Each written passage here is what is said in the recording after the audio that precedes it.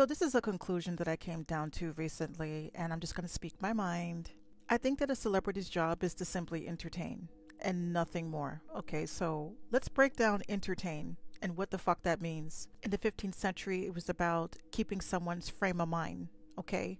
To hold someone's attention which also means that if I'm holding your attention to something, that means that I'm distracting you from something. This is why certain films and certain songs get into your feels because you are completely complicit with being distracted. Now, this shit right here being the biggest distraction of them all.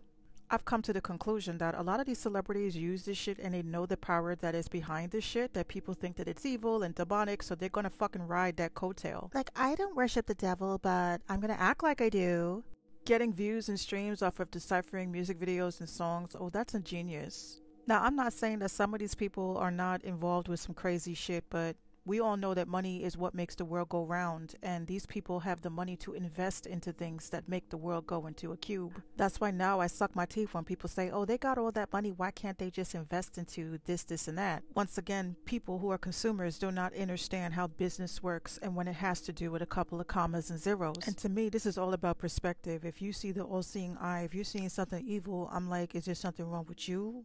Because when I see the eye, I see that a person has the power to control illusions.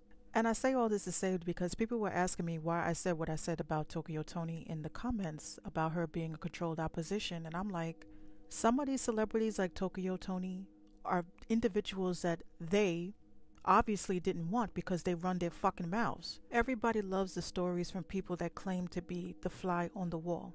But even flies have a duration of time people would rather come to the public with the knowledge that they have of crimes that are committed, but the police are never involved, they still have to prove their allegiance anyway, keeping it a buck, because they still flash the signs and shit when they're trying to use it as an example.